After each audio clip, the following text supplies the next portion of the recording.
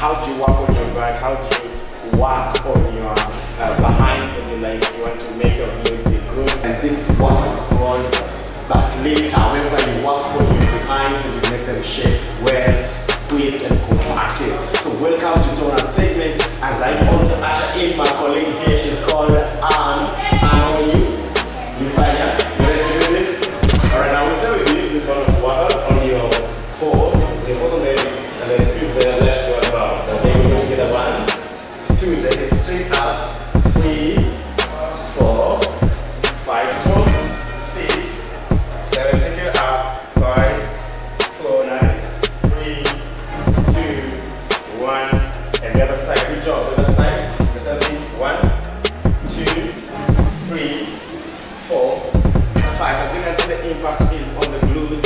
That's seven, eight, nine, and ten. Good job. Now you take a break in between the workouts so that uh, you get the energy to do the next set. Yeah.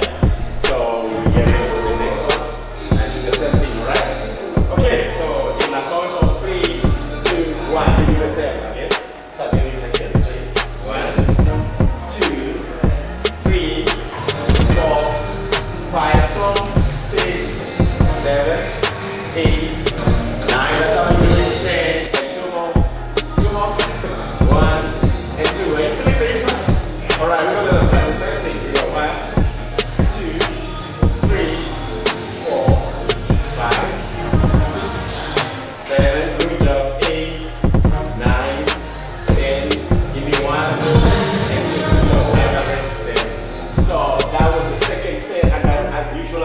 keep on resting in between the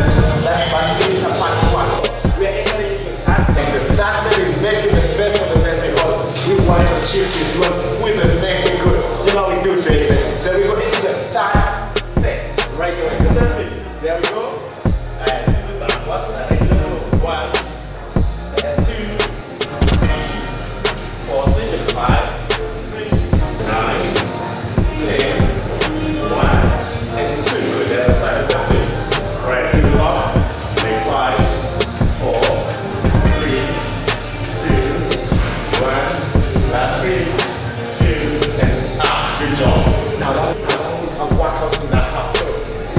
hour. So is it gonna be rest? Now you can just sit.